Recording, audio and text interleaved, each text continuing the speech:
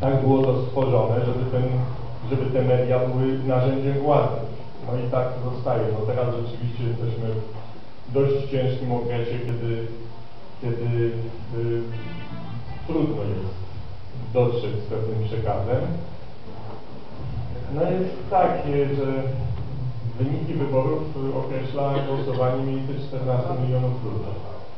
Ludzi, którzy czytają w Polsce gazety jest milion, bardzo optymistyczny. No, ludzi, którzy czytają portale, szukają publicystyki w internecie, też nie mieszczą się mniej więcej w tej to są przeważnie ci sami, którzy czytają gazety.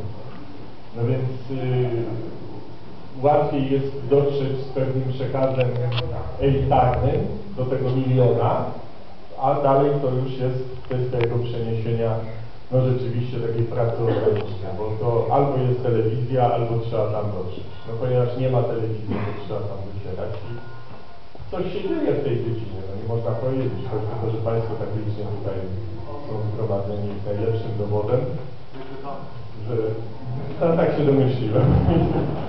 Dziękuję, ale potem ci co, ci, co czytają, powtarzają też tym, którzy nie czytają. Rozumiem, że pytanie jest trochę retoryczne, no jak to się dzieje. Ja mogę powiedzieć, no wielu ludzi naprawdę robi co może, robi bardzo wiele, żeby tam, żeby, żeby do Polaków coraz bardziej docierało nawet, nawet proste pytania, no, tak jak mówię.